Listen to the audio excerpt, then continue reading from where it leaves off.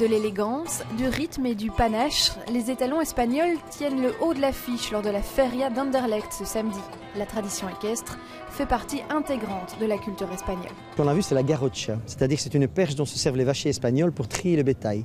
À l'heure actuelle encore, quand ils sont dans les plaines, parce que les vachiers espagnols, bon, il y a des fois 2-3 000 hectares, il y a 200, 300, 500 têtes de bétail. Il ne faut pas oublier que là-bas, il y a des cornes. Ils ont leurs cornes, c'est pas comme ici. Donc, pour éviter qu'ils ne soient encornés, bon, ben, c'est le prolongement de leurs mains. C'est avec ça qu'ils servent pour trier le bétail. D'autres chevaux assurent aussi le spectacle. Ismaël et son cheval Vredo, un Italo frison de 9 ans, travaillent depuis des années pour arriver à un tel résultat. Quand il est poulain, je le travaille à pied, avec, euh, comme, comme vous voyez ici, avec des longues graines.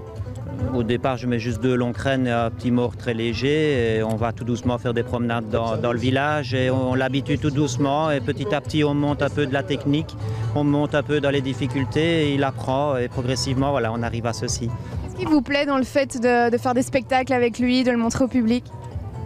C'est faire un peu rêver les gens. voilà, c'est ça qui est certainement le plus, ouais, le plus, le plus top, c'est de faire rêver. C'est de donner un peu des étoiles dans les yeux.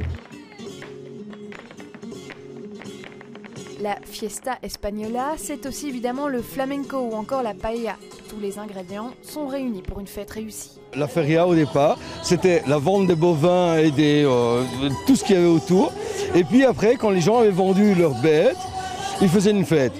Comme ce que vous voyez aujourd'hui. Ici, on ne vend plus rien, mais on fait la fête quand même. Donc voilà un petit peu l'esprit de la feria. Demain encore, soleil ou pas, le parking du stade Constant Vandenstock prendra inévitablement des airs de vacances. Une parenthèse ibérique pleine de saveurs et de chaleur humaine à savourer en famille ou entre amis.